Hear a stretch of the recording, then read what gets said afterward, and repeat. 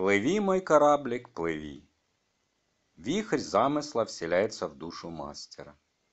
Не сидится мастеру, не ест, не пьет, а все примиряется.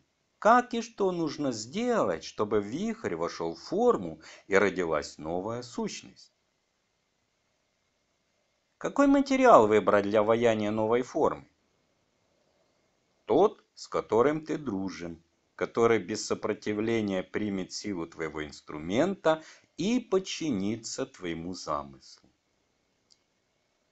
Каким образом материал может противиться, дедушка? Делаешь, делаешь, уже работа подходит к завершению, а твое создание возьми да и распадись на части, что иногда случается в руках резчика. Это и будет коварство материала.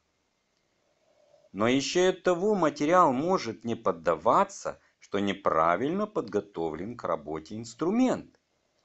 Не забывай об инструменте. Поговори с ним, почисть, подготовь.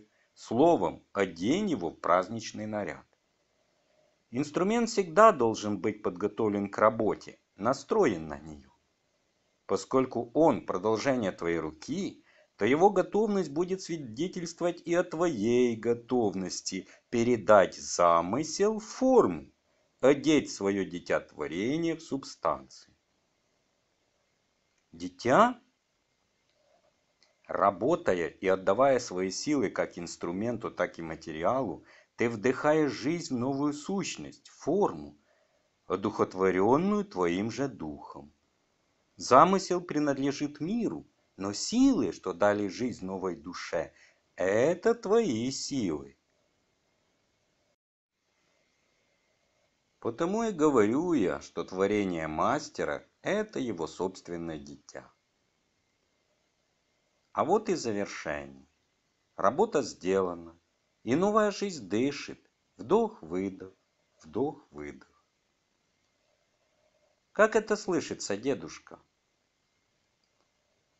Мастер уже любуется своей работой, очищает ее и собирает инструмент. Выбирает рабочее место от остатков материала. Немножко печаль.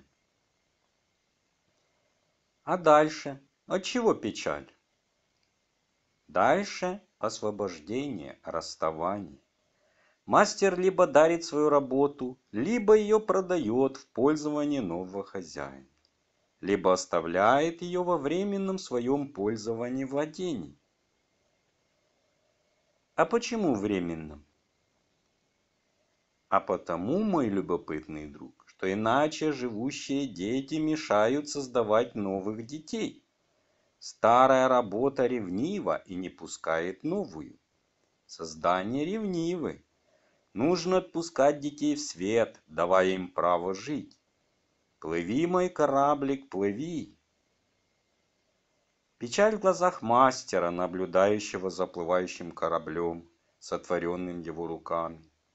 Печаль в глазах матери, провожающей своих детей к их домам.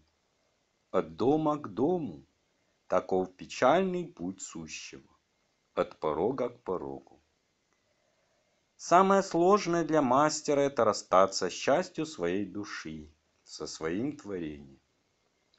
Эта сила, позволяющая освободить часть себя, и есть самое ценное достояние мастера, самое благое его достижение.